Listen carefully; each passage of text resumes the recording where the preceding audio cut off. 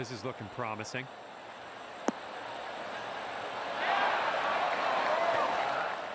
Was the club. And here we go, potential birdie. Good putt.